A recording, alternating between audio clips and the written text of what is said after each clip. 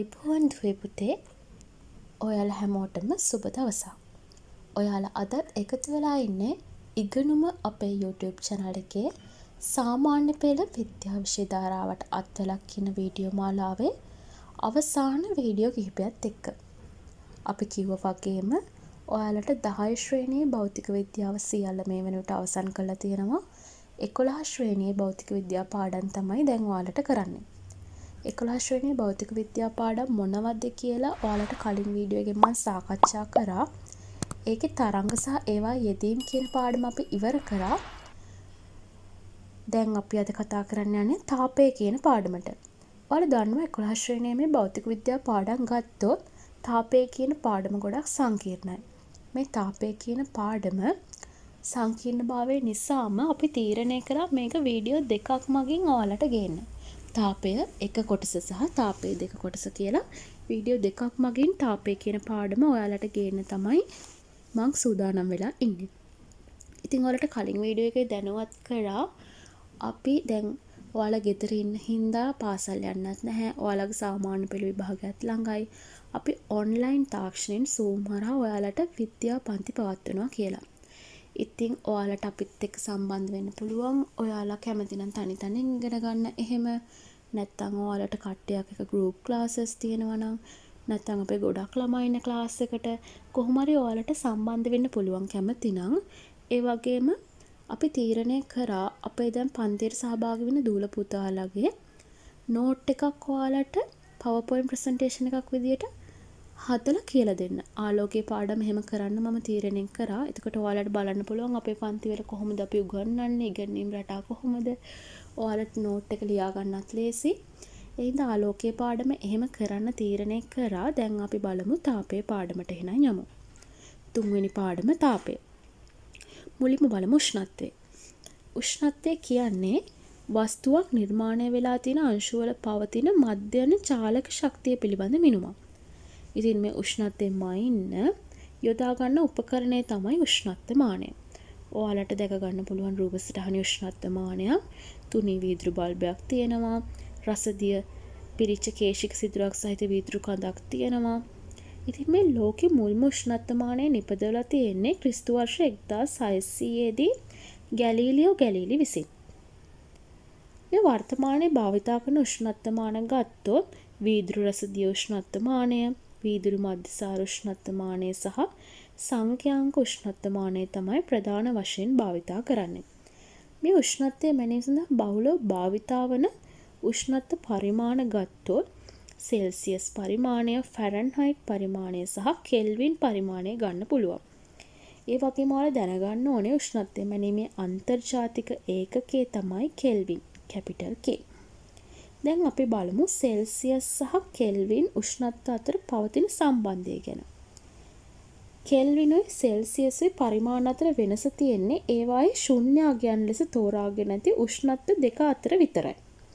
ඒ අනුව සෙල්සියස් වලින් මන් ලද උෂ්ණත්වයක් කෙල්වින් පරිමාණයෙන් දැක්වීම සඳහා අපි කරන්න ඕනේ දෙසිය හැත්ත තුනක් එකතු කරන්න.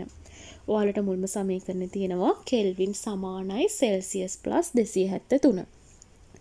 ඒ වගේම කෙල්වින් පරිමාණයෙන් මන්න උෂ්ණත්වයක් සෙල්සියස් පරිමාණයෙන් දක්වන්න දෙසිය හැත්තතුනක් අඩු කරන්නයි ඕනේ. සෙල්සියස් සමානයි කෙල්වින් අඩු කරන්න ඕනේ දෙසිය හැත්ත තුනක්. දැන් අපි යමු තාපය කියන මාතෘකාවට. තාපය කියන්නේ මොකක්ද? තාපය කියන්නේ යම් වස්තු දෙකක් අතර පවතින උෂ්ණත්ව වෙනස හේතුවෙන් එක් වස්තුවක සිට අනෙක් වස්තුවට ගලා යන ශක්තිය තමයි අපි භෞතික විද්‍යාවේදී තාපය කියලා හඳුන්වන්නේ. මං ආයි පාරක් කියන්නම්. යම් වස්තු දෙකක් අතර පවතින උෂ්ණත්ව වෙනසක් හින්දා එක් වස්තුවක ඉඳලා අනෙක් වස්තුවට ගලා යන ශක්තියට තමයි අපි තාපය කියලා කියන්නේ. මේ තාපය ගත්තොත් මං ඔයාලට ප්‍රධාන කොටස් දෙකක් මගින් මේක විස්තර කරනවා තාප සංක්‍රමණයයි තාපය ගමන් කිරීමයි කියන්නේ මොකක්ද කියලා. තාප සංක්‍රාමණය කියන්නේ එක් වස්තුවක ඉඳලා තවත් වස්තුවකට තාපය ගලා යාම තාප සංක්‍රාමණය කියලා හඳුන්වනවා. එතකොට අපි තාපය කිව්වේ මොකක්ද? යම් වස්තු දෙකක් අතර පවතින උෂ්ණත්ව වෙනස හේතුවෙන් එක් වස්තුවක සිට අනෙක් වස්තුවට ගලා යන ශක්තිය භෞතික විද්‍යාවේදී තාපය කියලා හඳුන්වනවා. තාප සංක්‍රමණය කියන්නේ එක් වස්තුවක සිට තවත් වස්තුවකට තාපය ගලා යාම තාප සංක්‍රාමණය කියලා අපි හඳුන්වනවා. තාපය ගමන් කිරීම. ඉහළ මට්ටමක ඉඳලා පහළ මට්ටමකට ජලය ගලා යනවා වගේම තමයි තාප ශක්තියත් ඉහළ උෂ්ණත්වයක ඇති වස්තුවක ඉඳලා පහළ උෂ්ණත්වයක් තියෙන වස්තුවකට තමයි ගලාගෙන යන්නේ.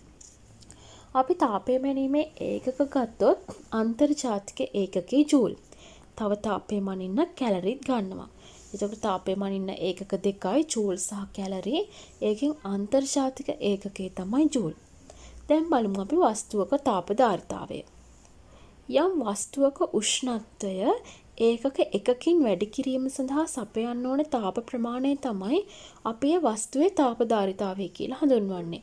ආයි පාරක් කියන්නම්. මොකක් හරි වස්තුවක් ගත්තොත් ඒකේ උෂ්ණත්වය ඒකක එකකින් වැඩි කරන්න අපි සපයන්න ඕන තාප ප්‍රමාණය තමයි ඒ වස්තුවේ තාපධාරිතාවය කියන්නේ. මේ තාපධාරිතාවය මයින්න අපි භාවිතා කරන ඒකක තමයි අන්තර්ජාතික ඒකකේ තමයි ඔයාලට මුලින්ම දීලා තියෙන්නේ කෙල්විනේට චූල් ඊට අමතරව සෙල්සියස් අංශකයට චූල් කියලත් අපිට තාපධාරිතාවය මයින ඒකකේ දක්වන්න පුළුවන්. මේ වස්තුවක තාපධාරිතාවය රඳා පවතින සාධක බලමු. ඒ වස්තුව සාදා තියෙන ද්‍රව්‍යයයි එම වස්තුවේ ස්කන්ධයයි තමයි තාපධාරිතාවයෙන් මයින්න රඳා පවතින සාධක. දැන් බලමු අපි විශිෂ්ට තාපධාරිතාවය. අපි ඉස්සෙල්ලා කතා කරේ තාපධාරිතාවය. දැන් අපි බලමු විශිෂ්ට තාපධාරිතාවය.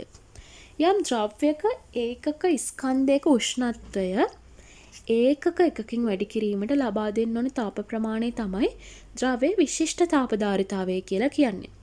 එතකොට මොකක්ද ඒකක ස්කන්ධයක උෂ්ණත්වය ඒකක එකකින්.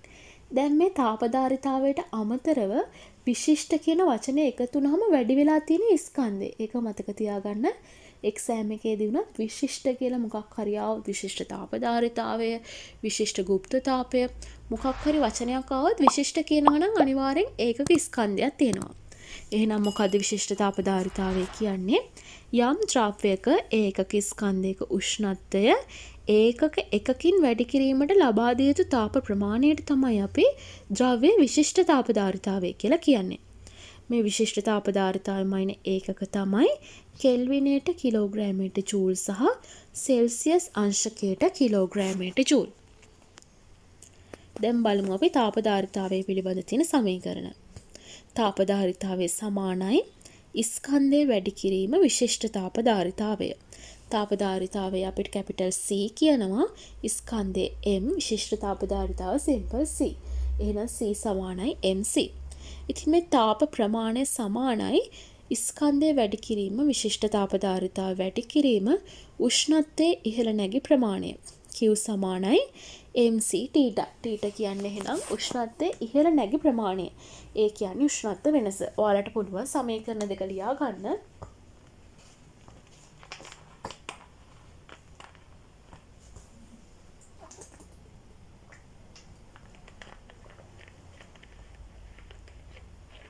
හොඳයි දැන් අපි කතා කරමු පදාර්ථය අවස්ථා විපර්යාසය ගැන මුලින්ම කියන්න අවස්ථා විපර්යාසයක් කියන්නේ මොකක්ද? පදාර්ථයක් ඝන, ද්‍රව හෝ වායු වැනි එක් අවස්ථාවක ඉඳලා තවත් අවස්ථාවකට පත්වීම තමයි අපි කියන්නේ අවස්ථා විපර්යාසය කියලා. ඔයාලට පේනවා අපි වතුර ගත්තොත් ද්‍රවයක්. ඒක සිසිල් කරොත් අපිට අයිස් කැට බවට පත් කරගන්න පුළුවන් ඒක ඝනයක්. ඒක රත් කරොත් අපිට හුමාලේ බවට පත් කරගන්න පුළුවන් වාෂ්පයක්. ඝනයක් නැවත රත් කළ ද්‍රවයක් කරන්න පුළුවන් ද්‍රවයක් රත් කිරීමෙන් වායුවක් ලබා ගන්න පුළුවන්. වායුවක් සිසිල් කළ ද්‍රවයක් ගන්න පුළුවන් ද්‍රවයක් සිසිල් කළ ඝනයක් ගන්න පුළුවන්. මේ අවස්ථාව විපර්යාසය සඳහා නිදසුන් කීපයක් මං කියන්නම් වායුවක් ගනී භවනය වීම ඝනයක් ද්‍රවයක් බවට පත්වීම අපි කියන විලයනය කියලා. ද්‍රවයක් ඝන බවට පත්වීම අපි කියනවා හිමායනය කියලා ද්‍රවයක් නැටීම. දැන් අපි බලමු ද්‍රවාංකය. ද්‍රවාංකය කියන්නේ යම් ඝනද්‍රව්‍යයක් රත් කිරීමේදී එය ඝන අවස්ථාවේ ඉඳලා ද්‍රව අවස්ථාවට පත්වෙන උෂ්ණත්වය. එම ද්‍රව්‍යය ද්‍රවාංකය කියලා අපි හඳුන්වනවා. මොකද ද්‍රවාංකය කියන්නේ යම් ඝන ද්‍රව්‍යයක් රත් කිරීමේදී එය ඝන අවස්ථාවේ ඉඳලා ද්‍රව අවස්ථාවට පත්වෙන උෂ්ණත්වයට අපි කියනවා එම ද්‍රව්‍යයේ ද්‍රවාංකය කියලා. ඔයාලට පේනවා ද්‍රව්‍යයක් සහ ද්‍රවාංක වලට උදාහරණ කිහිපයක් මන් දීලා තියෙනවා. දැන් බලමු අපි හිමාංකය. හිමාංකය කියන්නේ යම් ද්‍රවයක් සිසිල් කිරීමේදී එය ද්‍රව අවස්ථාවේ ඉඳලා ඝන අවස්ථාවට පත්වෙන උෂ්ණත්වය. එම ද්‍රව්‍ය හිමාංකය කියලා තමයි අපි හඳුන්වන්නේ. යම් ද්‍රව්‍යයක් සිසිල් කිරීමේදී ඒ ද්‍රව අවස්ථාවේ ඉඳලා ඝන අවස්ථාවට පත්වෙන උෂ්ණත්වයට අපි කියනවා එම ද්‍රව්‍යයේ හිමාංකය කියලා. මං ඔයාලට විශේෂ කරුණක් කියන්න. යම් ද්‍රව්‍යයක ද්‍රවාංකයත් හිමාංකයත් එකම අගයක්. මේක ඔයාලට MCQ එකකට SCQ එකකට නැත්නම් ස්ට්‍රක්චර්ස් ප්‍රශ්නට ගොඩක් වැදගත් වෙයි. යම් ද්‍රව්‍යයක හිමාංකය ද්‍රවාංකය එකම අගයක් තමයි ගන්නෙ. දැන් අපි බලමු තාපාංකය. යම් ද්‍රව්‍යයක් රත් කිරීමේදී ද්‍රවය තුළින් බුබුලු දමමින් වාශ්ම බවට පත්වීම එනම් නැටීම සිදුවන උෂ්ණත්වයට අපි කියනවා එම ද්‍රවය තාපාංකය කියලා. එහෙනම් තාපාංකය කියන මොකක්ද යම් ද්‍රවයක් රත් කිරීමේදී ද්‍රවය තුළින් බුබුලු දමමින් වාශ්ප බවට පත්වීම එනම් නැටීම සිදුවන උෂ්ණත්වය එම ද්‍රවය තාපාංකය කියලා අපි හඳුන්වනවා. ඔයාලට මන් දීලා තියෙනවා ද්‍රව්‍ය කිහිපයක තාපාංකය සඳහා උදාහරණ හොඳයි දුවේ පුතේ දැන් අපි තාපය පාඩමේ මූලික කරුණු ටික බේසික් ටික ඔයාලට ඉගෙනුවා. දැන් අපි මොනවද කරේ කියලා බලන්නකො මුලින් ඉඳලා මතක් කරමුකෝ තාපය ගැන කතා කරද්දී මම කෙලින්ම තාපයට ගියේ නෑ. ඔයාලට කිව්වා මොකද්ද උෂ්ණත්වය කියන්නේ. පස්සේ අපි උෂ්ණත්වය මැනීම ගැන බැලුවා. කවුද උෂ්ණත්වමාන හොයාගත්තේ? වර්තමානයේ භාවිතා කරන උෂ්ණත්වමාන උෂ්ණත්වය මැනීම සඳහා බහුලව භාවිතා වන උෂ්ණත්ව පරිමාණ ඒ වගේම අන්තර්ජාතික ඒකක් ගැන කතා කරා සෙල්සියස් සහ කෙල්වින් උෂ්ණත්ව පරිමාණ අතර තියෙන සම්බන්ධතාවය ගැන කතා කරා. අපි පස්සේ තාපය කියන මාතෘකාවේ තාපය කියන්නේ මොකක්ද? තාප සංක්‍රාමණයක් කියන්නේ මොකක්ද? තාපය ගමන් කරන්නේ කොහොමද? තාපය මැනීමේ ඒකක මොනවද? වස්තුවක තාපධාරිතාවය කියන්නේ මොකක්ද? තාපධාරිතාවය මැනීම තාපධාරිතාවේ රඳා පවතින සාධක අපි අවසානට විශිෂ්ටතාපධාරිතාවය කියන්නේ මොකක්ද? ඒවල ඒකක බැලුවා. විශිෂ්ටතාපධාරිතාවයට වෙන මම සමීකරණ දෙකක් ඉදිරිපත් කරා. C සමාන MC Q සමාන MC ටීටා ඒ වගේම පදාර්ථයේ අවස්ථා විපර්යාසය බැලුවා. අවස්ථා විපර්යාසය කියන්නේ මොකක්ද? ඒ සඳහා උදාහරණ ද්‍රවාංකය හිමාංකය තාපාංකය කියන්නේ මොනවද කියන මාතෘකා තමයි අද මේ වීඩියෝ එකෙන් මං අද ඔයාලත් එක්ක කතා කරේ ඉතින් අපි තාපය දෙක කොටසින් ඔයාලට ගේන්න බලාපොරොත්තු වෙනවා. ගුප්ත තාපය කියන්නේ මොකක්ද? විලයනේ ගුප්තතාපය වාශ්පීකරණය ගුප්තතාපය විලයනේ විශිෂ්ට ගුප්තතාපය වාශ්පීකරණය විශිෂ්ට ගුප්තතාපය කියන මාතෘකා වගේම වාශ්පීකරණය වාශ්පී භවනය අතර තියෙන වෙනස තාපජ ප්‍රසාරණය ඉතාමත් වැදගත් මාතෘකාවක්. මේ තාපජ ප්‍රසාරණය කියන්නේ මොකක්ද? සංකෝෂණයක් කියන්නේ මොකක්ද? ඝන ප්‍රසාරණය බලපෑම කොහොමද? ඒවායේ භාවිත කොහොමද? තවත් වැදගත් මාතෘකාවක් තාප සංක්‍රාමණය කියන එක ඉතාමත් හොඳින් පැහැදිලිව තවත් විස්තරාත්මකව ඉදිරිපත් කරනවා. තාප සංක්‍රාමණය සිදුවන ප්‍රධාන ක්‍රම ගැන සන්නහනය සංවහනය විකිරණය ගැන මේවා වෙන වෙනම අවස්ථා මේවට උදාහරණ මුහුදු සුළං ඇතිවෙන්නේ කොහොමද? ගොඩ සුළං ඇතිවෙන්නේ කොහොමද?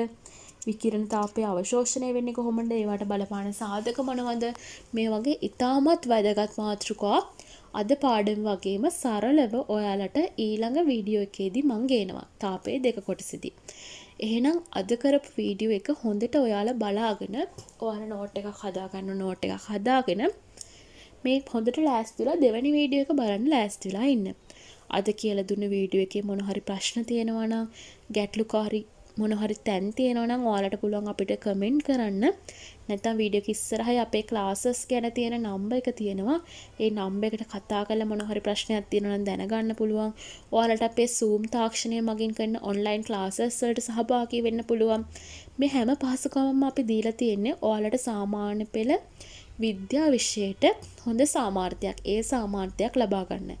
ඔයාලා දැනට ඉන්නේ විභාගේ ෆේල් වෙන මට්ටමේ නම් අපේ මේ වීඩියෝ මාලාවත් එක්ක ඔයාලට සම්බන්ධ වුණොත් ඔයාලට ඒ සාමාර්ථයක් ගන්න පුළුවන්.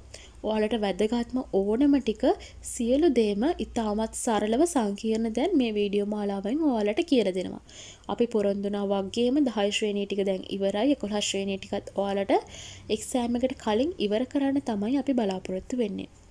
එහෙනම් ඔයාලා හැමෝටම හොඳට පාඩම් කරන්න හොඳට තියෙන ප්‍රශ්න කරන්න අපි තව ප්‍රශ්න කරන්නත් බලාපොරොත්තු වෙන ඔයාලත් එක්ක එක්සෑම් එකට කලින් එහෙනම් මේ වීඩියෝ එක හොඳින් බලලා මොන හරි ප්‍රශ්න තියෙනවා නම් කමෙන්ට් කරන්න. ඔයාලා අපිව සබ්ස්ක්‍රයිබ් කරපු නැති කෙනෙක් ඉන්නවා නම් සබ්ස්ක්‍රයිබ් කරන්න. ඔයාලා හැමෝටම සුබ දවසක්.